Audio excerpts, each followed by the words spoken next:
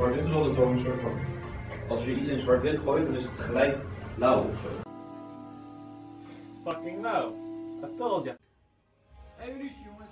nummers die we aan het begin van het jaar eh, gemaakt hebben, die klinken eigenlijk nu al heel anders. Niels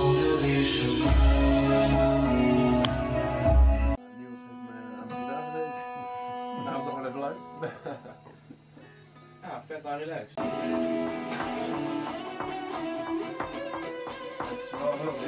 Fucking.